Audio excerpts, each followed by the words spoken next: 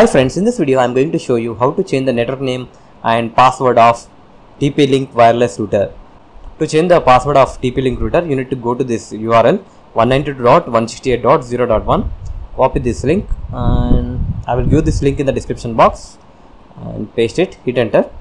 When you enter the URL, you will be redirected to TP-Link portal. Over here you need to enter the username and password by default uh, the username and password of any TP-Link router is admin and admin.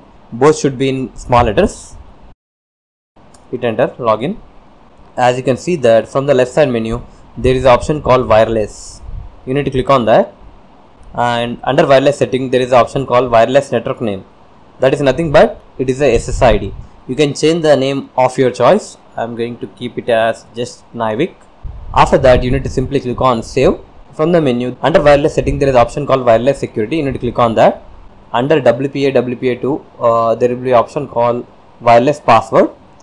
Uh, currently my password is set as like this. I would like to change it as password at the rate 123 after changing the password scroll down and click on save.